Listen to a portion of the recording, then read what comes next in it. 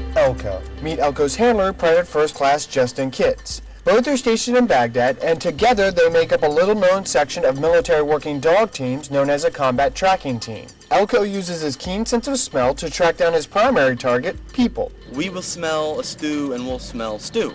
They will smell a stew and they'll smell carrots and onions and meat and beans and they will smell every individual ingredient. See, Elko's training has taught him that the scent he is picking up is his target, and he believes that his target is a green tennis ball. He will rip up the ground trying to get to that ball as quickly as possible.